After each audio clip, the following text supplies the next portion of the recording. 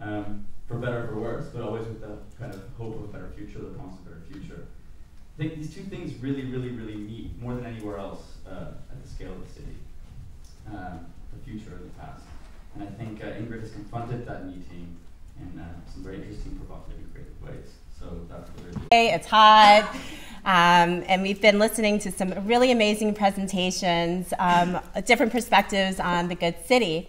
And when I was considering um, my talk today, I was really thinking about good city. Like, what does that mean? Who defines good? Good for whom? Um, all the similar questions that we've been hearing. And uh, so I'm going to be focusing on Detroit uh, as a good city, as a not so good city, and as a potentially amazing city. So, in Detroit, um, I just will start off with like the good part. Uh, we are on fresh water. We have 20% of the world's fresh water. We are on an international border. You can literally see Windsor, Canada, right across the way. You can swim there if you want to. Um, we have 85% black population. We are the only city like that in the United States with that highest percentage. It's probably the best part of the city. Um, we are on indigenous land, Anishinaabe, and that's important to understand and know the energy of that. Um, what else? We do amazing urban farming. We have citizen led innovation. There are a lot of amazing things happening in Detroit because Detroiters are amazing. And I want to be clear in that because I'm about to go in. but as we know, Detroit is definitely facing challenges. I'm going to focus on only one issue. There's a really long, long list. Um, and that list will basically look like uh, that people are being colonized and pushed out of our city. And I use the word colonization on purpose. This is not a gentrification where like young white couple comes into black neighborhood and then we can't afford the rent and then we gotta move. No.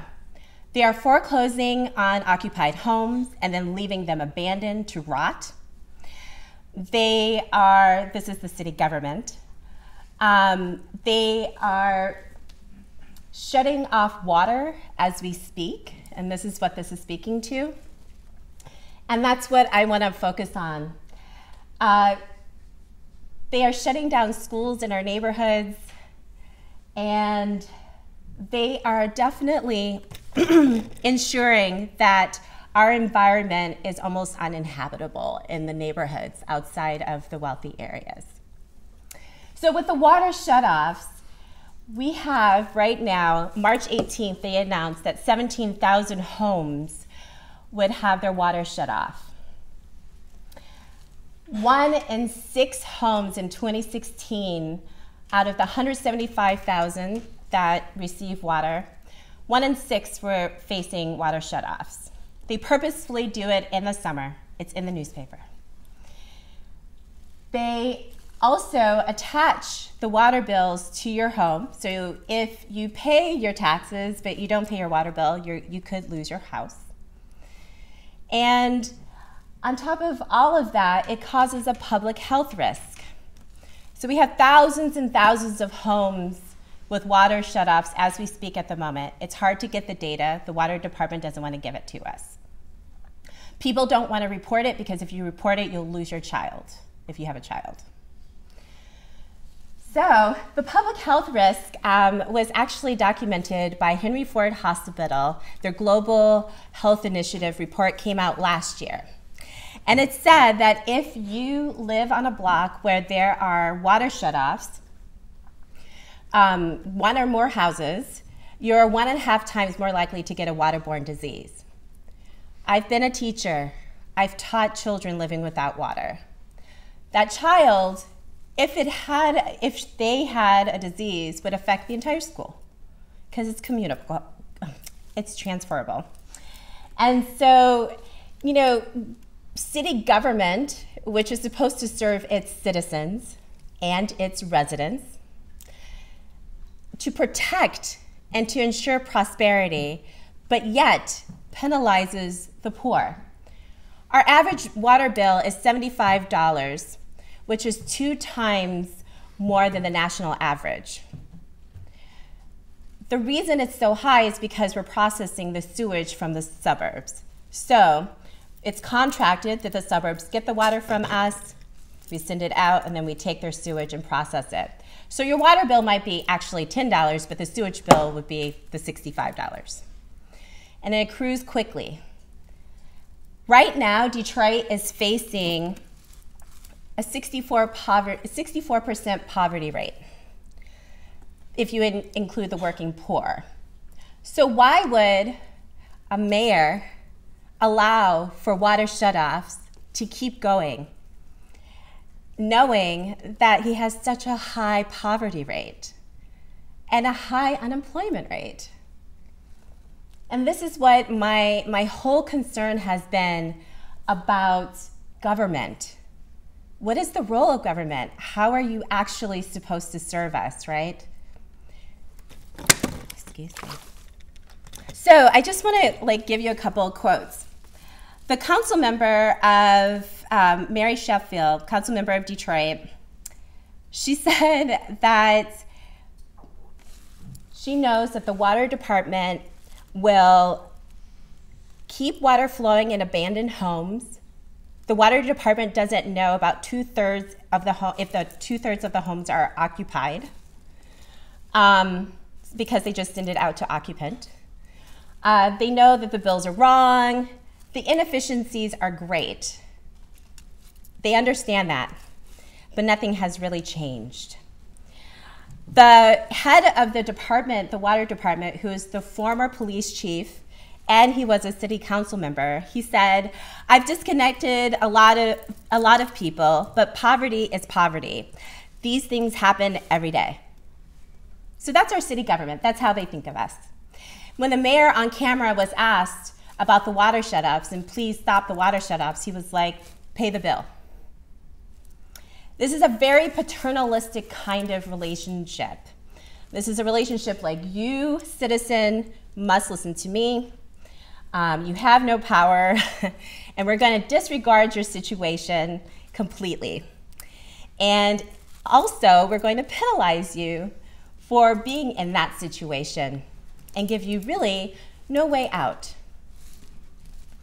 This is why I ran for mayor of Detroit. I was completely fed up with all of the challenges that we have been facing. Social justice groups for years have been advocating for resolutions. For instance, advocating for the water bill to only be 2% of your income. That's reasonable. They won't do it. In fact, they haven't even looked at any other way to basically uh, make sure that citizens are provided water. So, as a candidate for mayor, my whole purpose and focus was to make sure that people understood how government could be and the different resolutions to our challenges. I was literally there to plant the seeds. I was tired of politicians giving us the same old, same old, same old line jobs, jobs, jobs. Uh, increase in corporate interests or whatever it is, but none of it was human centered. And that's the kind of government that we need right now, especially when you're dealing with a 64% poverty rate. Now, as a candidate for mayor, I had to come up with a plan. And I really enjoy that. As an intellectual, as a theorist, you know, it's you, you we're always talking about it, right? We're talking about it now. We, we chat and chat about plans. But it's one thing to talk about it, it's another thing to actually present it to the public who it will actually affect, right? Uh, and I had to really think hard and long about it. And the thing that I had to really consider was that Detroit is majority black American. It is majority of color. We have a high Latino um, population we have a Bengali population, and more. If that, if we really have to really look at that um, to understand the strategies to put, put in place, this is not just a city. This is a black city. This is a black city in the United States of America that has systematically oppressed black and brown bodies for centuries. And they have embedded that oppression into the very institutions and systems that we rely upon to govern our city, to police our city, to ensure health for our citizens. So really, what, we're, what we really need to understand is that it's not just, oh, there's these policies or it's design. We have to go much, much deeper to the root. My whole goal as a candidate was to figure out how we can stop the poverty cycle and empower citizens, get them out of survival mode and into prosperity. But when you're dealing with environmental racism, when the water bills are wrong and no one's listening to you and you owe thousands of dollars on it and you, you think you're going to lose your home um, because of a foreclosure that's impending uh, and you're unemployed, right? All of these things are compounded and they all inform each other. This is why it is incredibly important that we have to talk about decolonization. We have to decolonize our systems and develop new systems because the systems that we have right now were only meant to exploit black and brown bodies. Now, with the decolonization, I, in the social justice community in Detroit, we talk about this quite a bit. But I really wanted to get deeper into how do you decolonize? It is absolutely important that we decolonize um, the mind first.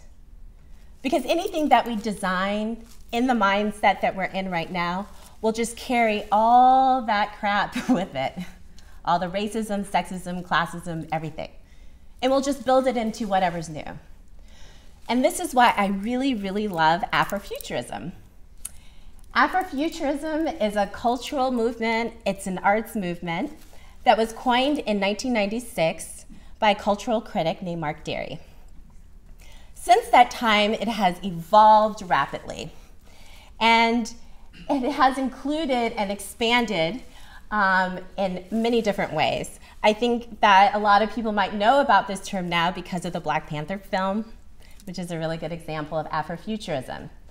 Afrofuturism takes speculative fiction, science fiction, magical realism, horror, fantasy, to really discuss the challenges that black bodies face. Um, and I will pause here. I say black bodies because that is exactly what is being targeted. It's not our mind, it's not necessarily a culture that comes next. It's our black body. It is on that base level, unfortunately. And uh, so, with Afrofuturism, you look at um, Af- excuse me, mythologies and legends from the African diaspora, you look at new technologies, and you wonder how are all of those things going to affect the black body? What kind of futures can we imagine for ourselves where we are in control of our destiny, um, where we're healthy, where we're prosperous? But also, Afrofuturism is a really great way to critique the now and to create a new framework for developing new strategies that really assist, support, protect, encourage the black body. Examples are Sun Ra, the jazz musician. I know some of you know him. Uh, Sun Ra was um, infamous for dressing at all times. Uh, and he said that he was from the planet Saturn. And his music, if you listen to it, it sounds like stars and planets. It's really great. If you don't know him, Google him and definitely listen to his interviews. And this is Black Panther. Who saw Black Panther? Awesome. Great. So now you understand like the conversation about building a black utopia, which is Wakanda in Black Panther. That is an ongoing conversation and has really sparked the imagination of people to imagine what it would be like to have a safe utopian space where black bodies can thrive without any sort of white intervention. And they're unapologetic about it, which is really awesome. I really, really enjoy that. So, um, thinking about Afrofuturism, as much as it's a cultural movement, there are certain principles that kind of resonate through all of the work that comes out of Afrofuturism. One of them is that Afrofuturism is ancestrally rooted. You honor the past so that it can inform the future. You have to remain grounded in your ancestral roots. This is very, very important. And as we know, with colonization, you're broken away from your cultural roots, your history, and that part of your identity is hard to kind of connect to. But with Afrofuturism, we love to look at different mythologies, cosmologies, and legends from the past that show up in our present and future. It is also looking at time. Afrofuturism definitely uh, questions the construct of time. It's no longer linear, it's a nonlinear space. And then you have resilience. Resilience and the ability to adapt to change at any point in time. Octavia Butler, a science fiction writer, wrote, God is change, change is God. And this is something that we hold true to. We are experimental. That is probably at the core of Afrofuturism. And it's the thing that I absolutely enjoy the most. Um, the idea that no matter what you do, it's going to kind of be supported, no matter how you dress or how you sound, what you produce. Um, within an Afrofuturist space, if you're experimenting, there is lots of latitude and patience and acceptance within that. And if not, like full on encouragement. And then it's pleasure. I'm really, I'm a pleasure activist which means that I live by the pleasure principle. Every moment of every day should be pleasurable. If it's not, I need to check in and see why. Pleasure elicits joy and play and delight. We need all of those elements in our lives to enjoy this human experience. Hence the reason why I wear heart glasses, I love sequins, I love to make people smile, especially when we're talking about some really heavy things. Um, Afrofuturism is forward thinking. We really want to push all limitations that we have in our minds and move beyond that as much as possible. And that's something that I really brought to the campaign of being forward thinking. I think it's really important to bring other people along with you when you are in that mode. Because some people don't really feel comfortable entering that space. Um, they don't want to take that risk, to think that far, just to think and imagine. And then it's all about trust, authenticity.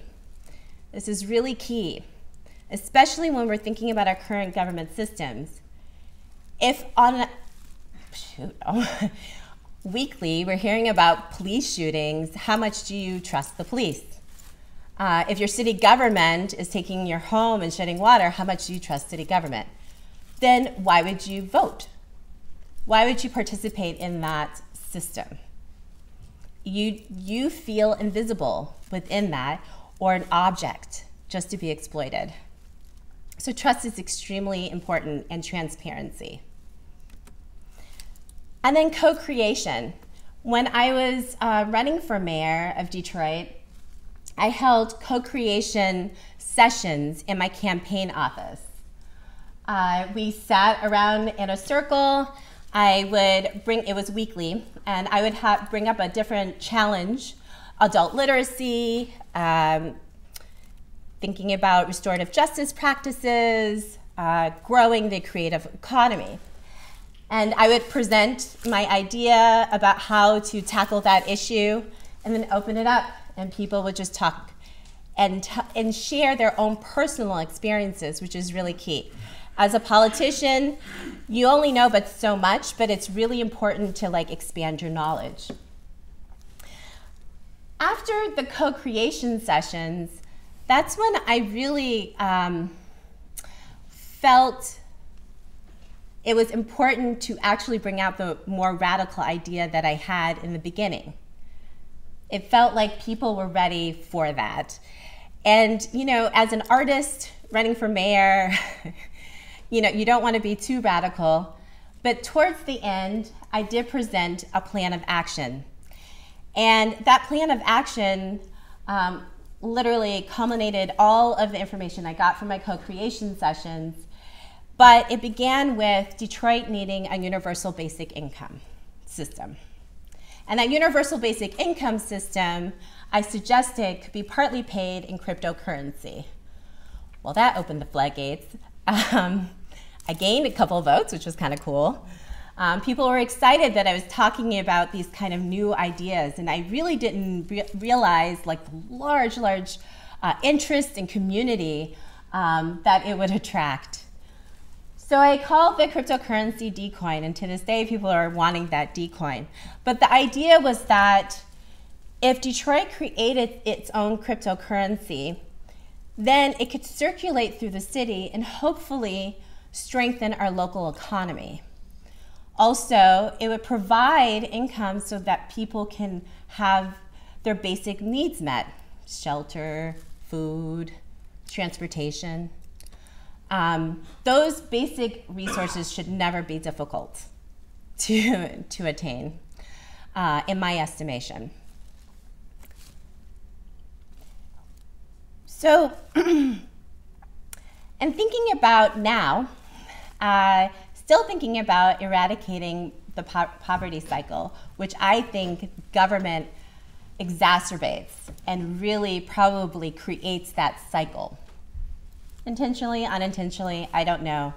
But government has a huge, huge responsibility in this poverty cycle. And so I really wanted to go deeper into what can we actually do to decolonize um, these systems, like in a real, real viable way. So thinking about like people, this is W.E.B. Du Bois's book, um, thinking about uh, various thinkers and activists and the different plans that they had, I noticed a common thread of cooperative economics. In uh, 1907, W.E.B. Du Bois, uh, in this book, talks about 154 black American cooperatives that were operating, which is kind of amazing to me.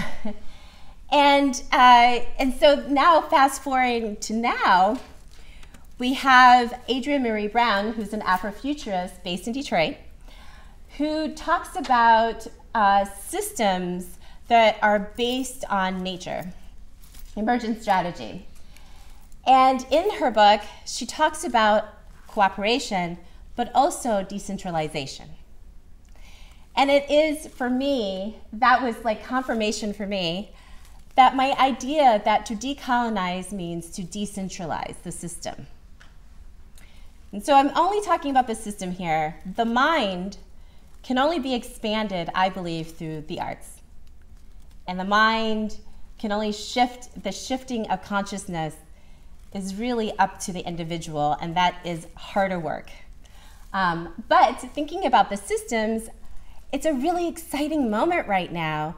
We actually have the technology that can create a decentralized way of cooperating, cooperating with all uh, with our community in a way that is economically viable. So that brings me to blockchain technology. And I heard a little bit about it uh, in the previous session and got a little excited. I was like, oh, are we going to finally talk about it? No, not really. blockchain technology. For the past couple months, I've been active in our meetup group, Detroit Blockchainers, I'm uh, really just trying to learn. I am not a techie and I'm not a finance person. So trust me, I was lost for like three months. But I still decided to go and sit and understand it. Why? Because blockchain, blockchain technology is going to be informing so many parts of our lives we don't even, we can't really imagine it at the moment. They say that we're at the email phase, like of the internet, we're at the email phase of blockchain technology. So it's really, really new. And, um, and so I really enjoy talking about it. No matter what industry you work in, I think you should know about it. So, blockchain technology is basically a ledger, a digital ledger that is immutable, which means you can't change it. It's trusted because it's transparent. Um, and it does, it does away with any third party need for holding the information. Blockchain technology is the technology that is behind, oops, sorry, uh, cryptocurrency. And uh, so that's what you know Bitcoin is cryptocurrency. There are over a thousand cryptocurrency coins out there right now. Um, a lot of people don't realize that. They think it's just Bitcoin, but there's so, so many. And the reason there are so many is because people are experimenting right now. But what is really interesting about blockchain technology, you have the opportunity to not just create a new type of financial system um, that is peer to peer based, you also have the opportunity to create a new kind of government system. So, Liberland is a micronation, and it sits between, I think it's Serbia. Oops. Um, I think it's, yeah, it sits on the western Danube. And it's brand new. It's about, it was uh, formed in 2015 and it sits between Croatia and Serbia. And uh, it was a Czech politician who founded it. He, he is trying to experiment with decentralized autonomous government, which means that the citizens of Liberland are, it's basically the government. What is really interesting about de um, decentralized autonomous um, government system is that we could potentially create a smart contract on a blockchain.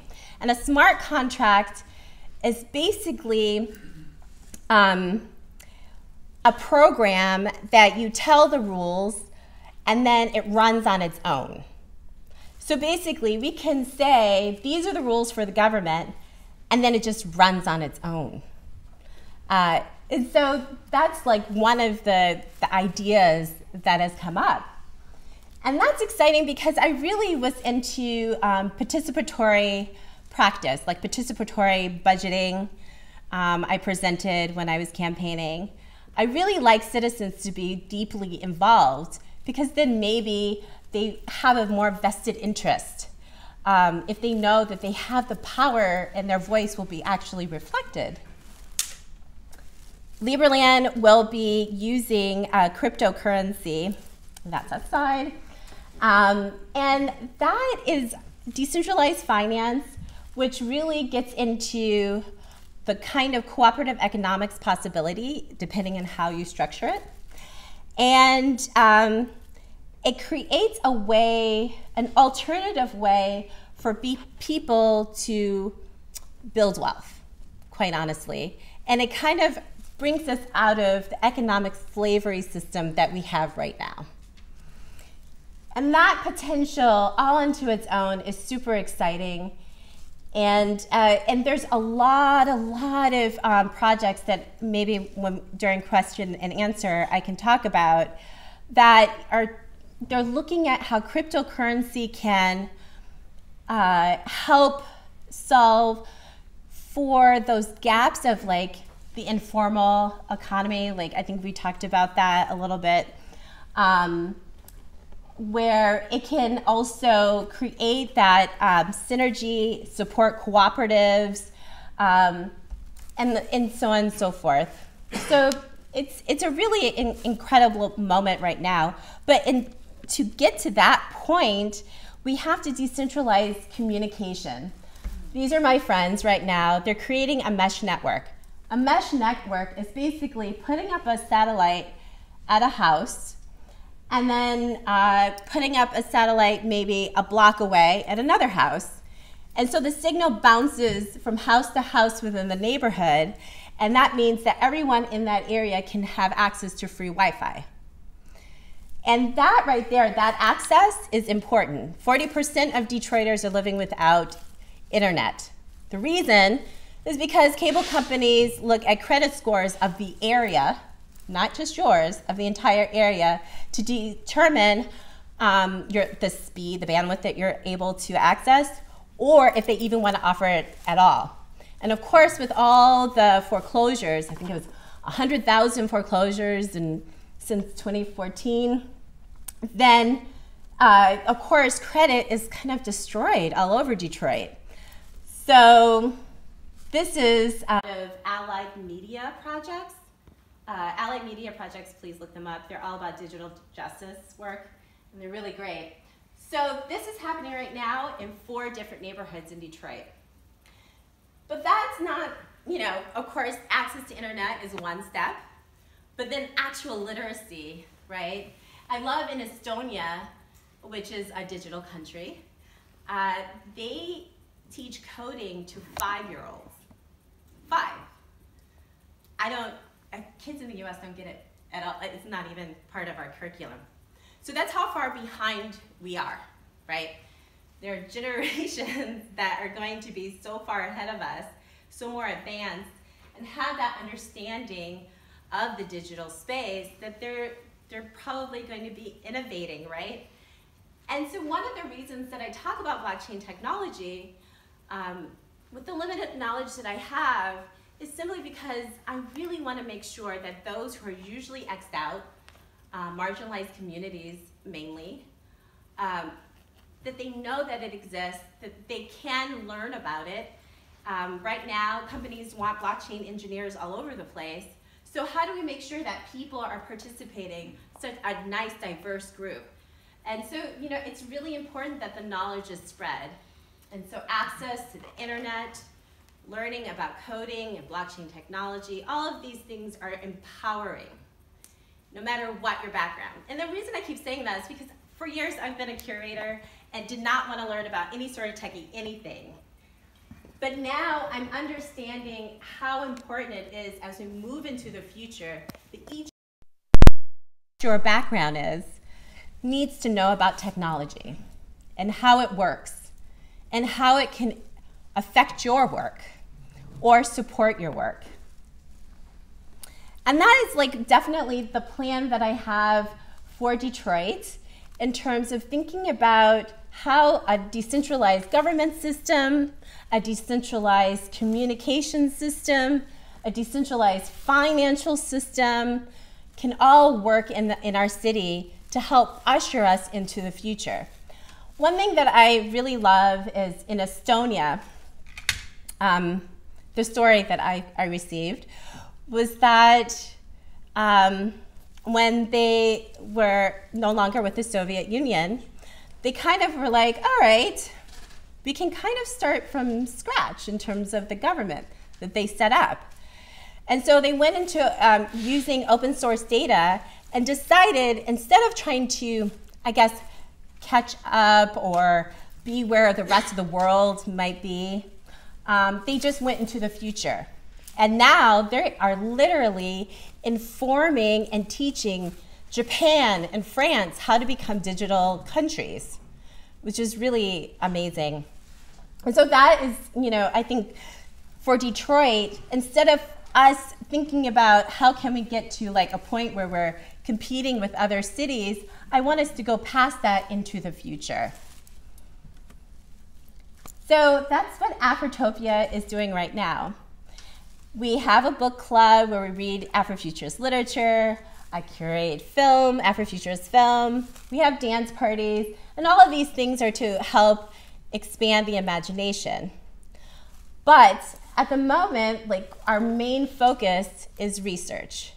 We're looking at what kind of blockchain initiative that we can implement that would really support black and brown bodies and the city of Detroit. And those, those are the kind of strategies that I think that will help thwart things like automation. I know some of you are not big into it, but when already jobs have been taken away in Detroit, we need to know about automation, right? we need to know what other jobs are going to be affected. With blockchain technology, a lot of the professional jobs are going to be affected. For instance, uh, accountants will no longer be needed necessarily. That's prediction. So, you know, thinking about thinking about the future and really understanding what is impending, what people are working on, and thinking about how we can innovate using the technologies that we have to either protect ourselves or to participate. And uh, so that's what my friends and I in Afrotopia are working on. Please feel free to contact me if you want to or follow me. And I'm down for a conversation. Thank you.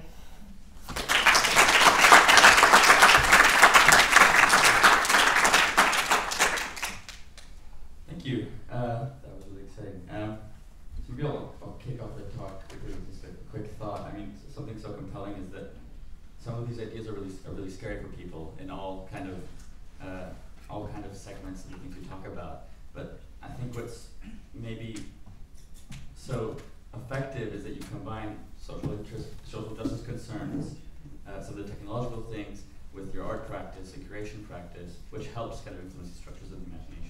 So in terms of kind of grassroots organizing with a lot of the community groups you do, I wonder kind of what advice you might have on how those things come together and how um, advice on, on how to bring, I guess, creative practice into policy. You know, I think, is this on? Yep.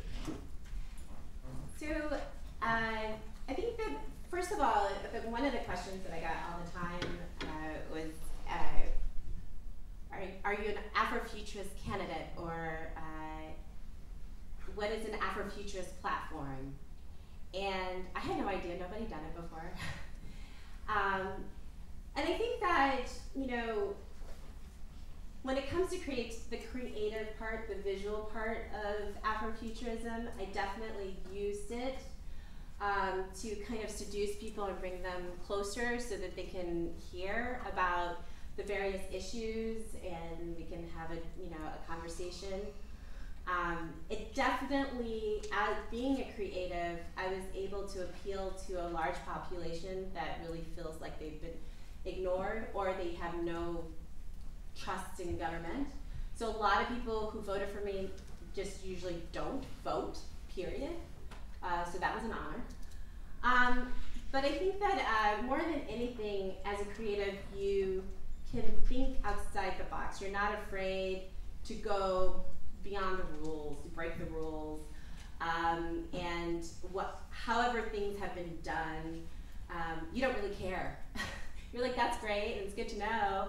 So, but we can still do X, Y, and Z. It's the possibility. There's space for it, and I think that that's really um, the the best part of it is the creative thinking. Do you find it divides people though? Some people respond well to that, and some people maybe respond less well, or Yeah, I think it's a it's it, it takes time for people to take you seriously, but uh, over time they did.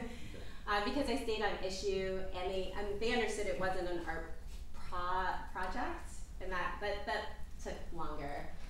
But the plan that I came out with, the plan of action, solidified, and they were like, "Oh no, she's really thinking about things," and so that was really great. does anyone out here have any questions? Um, Monique?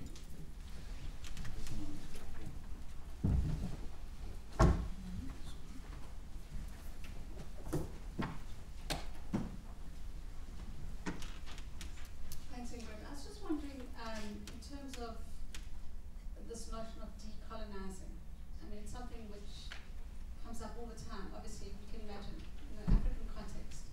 Um, how does one justify modeling um, particular aspects of, and I'm using Detroit as the example here because it's, it's your example, um, based on a country like Estonia, which is pretty much part of the European world. But you know, you could argue that perhaps it was colonized by the Soviet Union or something. But it's just, you know, I mean, I suppose for me, it's re- it's be, it's become very complicated to talk about decolonization um, because because of exactly the reference that, that you're making, right? That that that it's very hard not to take the imagination into places um, that seem to be innovative, wherever they may be. And so my question to you is, how does that relate back to your core idea, which is to decolonize?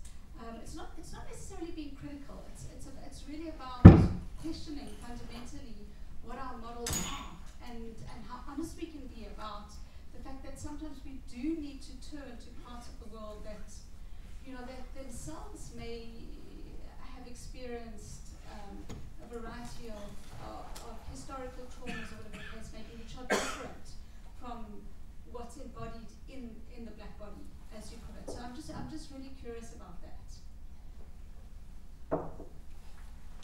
Um, so Estonia is just a very unique country at the moment. No other country is doing what they're doing. And so, as much as I look at them as an example, I'm still trying to figure out how that applies to Detroit in our culture and our way of being. Um, with Liberland, for instance, they create they're creating a decentralized justice system, and it's an interesting model uh, where it's very restorative justice kind of based. Like if I steal your boat, then there's restitution, and maybe some of my cryptocurrency, my token, my Liberland tokens, are going to be taken away. Um, so you're penalized in that way. And so I'm like, well, that's cool, but I, I kind of want to go deeper with that. So for me, it's kind of like starting points in a way. Um, I, I don't think that it's like completely outside of the realm of what we've been thinking for so long. And that's why I referenced W.E.B. Du Bois, who really advocated hard for cooperative economics. So I'm still st- staying within Black American culture, um, the idea to that the way to accumulate economic wealth is through cooperatives. Uh, so, but I'm just trying to figure out how to make it more viable, um, more organized, trustworthy, and expand it across a whole entire city. um, and so, you know, the technology is there, and because this is all experiments, nothing is actually in action really with blockchain technology. Everything is in theory right now. Um, so I'm just looking at all the theories. I'm like, oh, that's a good idea, or oh, that's another good idea. Um, there's all kinds of tokens that are doing some really amazing things.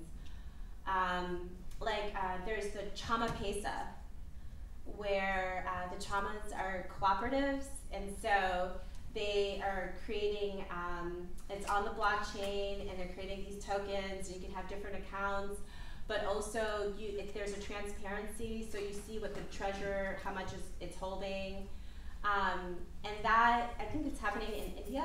So, you know that or it may be happening in India. So I think that you know there are in like the global south, there's a lot of projects that are happening that are really really interesting that are on the blockchain. Um, but I was just looking at Estonia in terms of its government. Um, first of all, the average age of, of, their government is 28 years old. So that just changes everything, and I, I really can't do much with that um, in terms of making sure a 28 year old becomes um, head of our government uh, and that's on a federal level. So, you know, I think that uh, their, their level of willingness to be that innovative uh, when the rest of the world hasn't even gotten there yet is really interesting, and you gotta respect that. Just to add to that, maybe something struck me is, um, I mean, if, if you have the mindset that you consider the U.S. to be kind of imperial, mm. then um, just by looking at things like participatory budgeting in Porto Alegre, mm. you are kind of decentering the U.S uh, you're kind of um, decolonizing in a sense, right? In the moment. Um, the sense that you never really talk about the, U- the U.S. is considered always exceptional in the studies debates. I think it's quite rare to talk about participatory budgeting, for example, um, beyond just Estonia. Anyone else? Malik?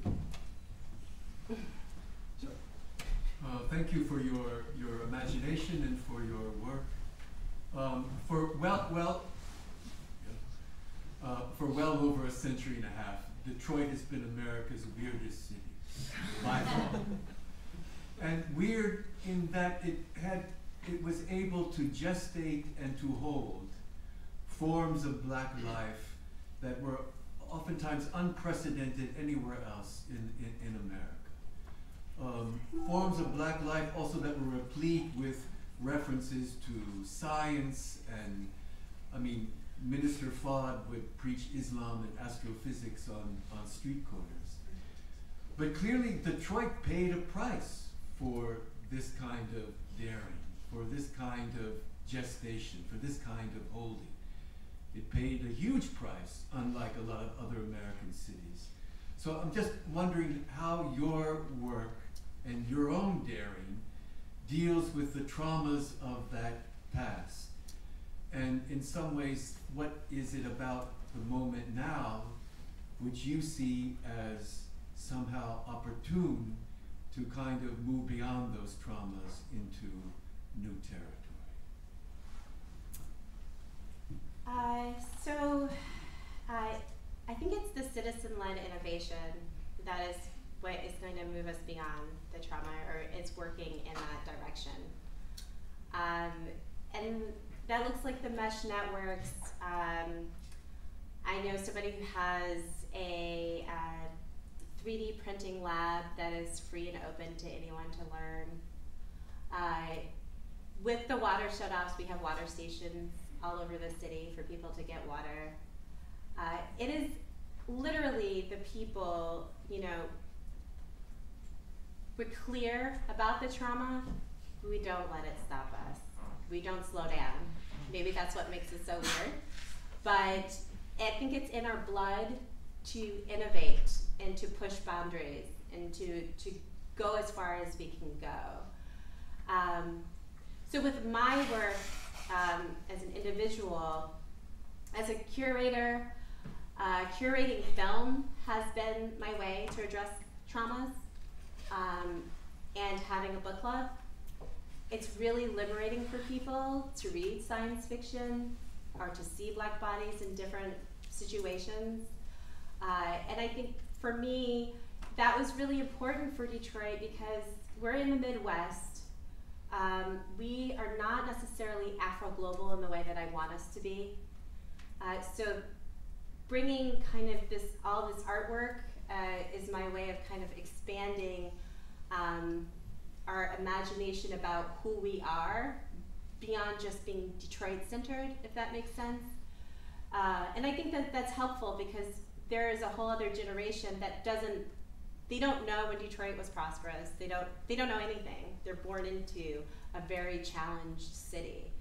Um, so this helps them to travel without leaving. Um, and then as an artist, uh, I create sculptures. So I became an artist actually to address the traumas in Detroit. And more importantly, to help people, energize people who are working on the ground every day and having to deal with this. It's, it's, it can be very exhausting. I don't know how much you know about Detroit, but everything is mixed. We don't have one side of town that's poor, per se. Um, upper, middle, and lower income neighborhoods are just all intertwined, which means that you cannot ever, ever, ever escape the, like what's going on in the city. Just can't. Um, and as much as I really love that, you can't go into a class's bubble, it does wear on you. It's exhausting, it's heartbreaking when you see kids walking through litter to go to school um, to know that there's mold in the school building. You know, like it go, the list is just so long. So it, it gets really, really, it does become really exhausting. So I started creating meditations from the sounds of stars and planets, and uh, and that's that's kind of like, and that's a more literal, direct way of addressing trauma. Um, and I also make sculptures out of healing crystals so that they are like resonating and healing your body. Um, my artistic practice is solely um, centered on healing traumas in black bodies, but knowing that in order to have that happen, everybody has to be healed. Um, and so, you know, that that's where I think my recognition that we can we can be strong and we can do the work, but we're still exhausted uh, at the exact same time, and we need everyone to be at their peak to deal with all that we're dealing with in Detroit.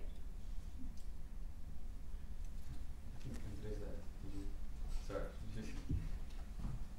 um, I really liked your talk, and I was particularly interested in this idea of humor. So you said you love to make people laugh, and you also embody that in the way you know you choose your glasses and the colors. Uh, if I understood you correctly, yeah. you and this made me think about a book uh, that's called Laughter Out of Place, where people uh, laughter out of place, where people use humor and and jokes, and this is sometimes also to a way of avoidance or uh, lack of power for confrontation, and and and uh, so you, it's almost a strategy to survive these difficulties of you know racism or unfairness, injustice, and deprivation, and so on and so forth. But uh, the way you, you use it, if I understood you correctly, is more, uh, I don't know, a mechanism to be able to speak of things that are very difficult um, without being, I don't know, too hard. So I'm, I'm caught in between whether humor as a powerful instrument of communication or it just diminishes the power of the message. And if you can build up on that. So, uh, okay, there's that's a lot to unpack. Um, it is a survival mechanism. It is a mechanism to protect myself. Um, quite out, like at times, not all the time, do I always use um, this kind of level of performance to do that. But I am aware that, especially if I'm around a black man, my partner, um, that people will treat him differently than they will treat me. And so that we're not we're not going to receive as much of the racism or you know whatever from people the negative energy if a girl with heart glasses is like in front of you right? Um, so I'm, I'm, I'm very clear. It's a that's a strategy for sure. Um, personally i just love i just love playing and i think it's uh, i don't think adults do it enough. And that makes life for me personally really boring and especially if i got to be around you and you don't play either. So um, you know this is human experience is already extremely extremely extremely difficult. So as many times that we can laugh i think it's important. Now when i was on the campaign trail um, i definitely dressed conservatively but- yeah as a curator though but conservatively right because I didn't want people to be distracted by me. I wanted them to hear my message. So my hair was straight and everything, and people really came after me for straightening my hair. but number one, it's just so much easier to deal with. And then number two, I just don't want people to be like, oh, the girl with the afro, and like thinking about all these other things, you know, and I'm trying to save the babies, right? So, yes, diminishing message, I do think about that quite often um, you know, how much of a distraction am I going to be? And so, you know, it, it just depends on the situation. But all the same, I mean, I literally um, started wearing, I always wore sequins when I went out, but then I started wearing on a daily basis.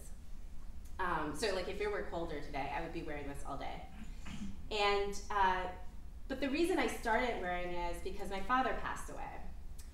And the grief was immense as you can imagine.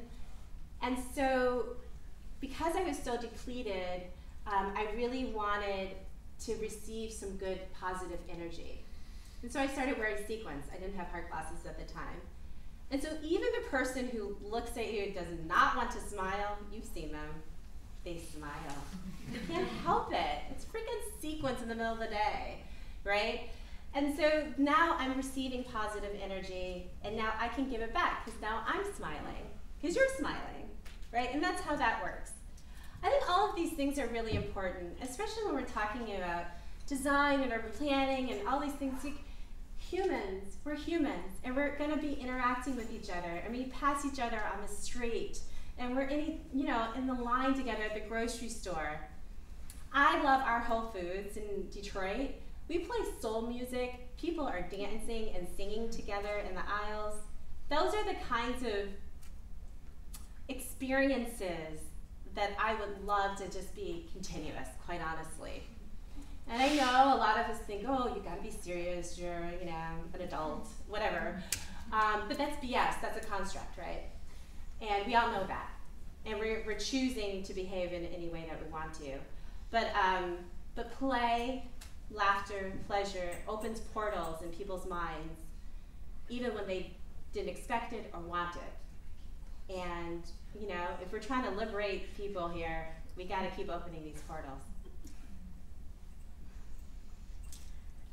That's. I'm actually going to continue on the same topic because I was very struck by your statement that you live by the pleasure principle. Mm-hmm.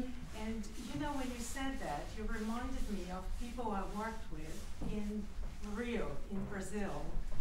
Uh, NGOs, bottom-up social uh, organizations made up of young black favela dwellers who very deliberately opt for a politics of joy and celebration and using all the you know wonderful music and the beat of the drums of uh, Africa of the Brazilian uh, of that African matrix actually or Brazilian culture to uh, to tackle very very difficult stories and to tackle very very tough realities of human suffering and pain. And I, you know, in your presentation, I was moved by the way in which you described all that pain that goes with the lack of water and the way that Sisi treats black bodies in your statement of living by the pleasure principle. I thought that was extraordinary, and I wanted to hear a bit more about that. Perhaps goes with uh, humor and wearing sequins and the, what Yeah. Well, I think that, and then on top of it, the black body was never meant to experience pleasure, joy, laughter, love. We're objects. Shit, we, we weren't even seen as human. we, we weren't even counted as human for centuries, right? So this is a rebellion for sure. It's a rebellion. And most of my friends who engage in this kind of pleasure activism are very clear on that um, we will not be denied these pleasures anymore.